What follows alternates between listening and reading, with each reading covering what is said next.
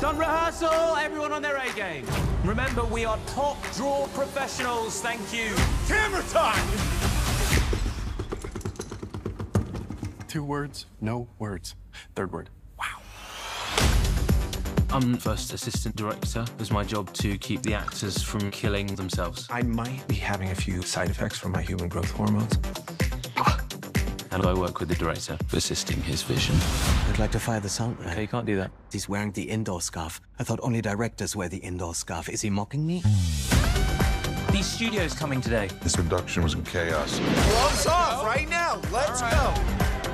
Run! Run! Would now be a good time to talk about career progressions? Do not panic. We're going to execute this and show how good we are. Forward cinema. Nose clips on. Let's see shit. And cut, cut. We've cut there.